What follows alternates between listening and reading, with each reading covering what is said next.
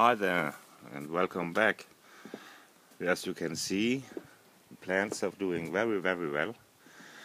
But we have a very good summer up till now. And I already removed many leaves and hung them up so they can mature. And yeah, hi Carla. so uh, and here these I did not plant these they're seeds from last year and the, the seeds survived the winter and the frost. So that's uh, very nice.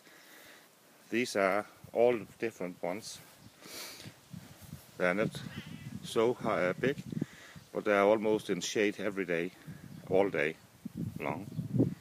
So uh, and uh, they got so, so big so I have to put some of the pots out here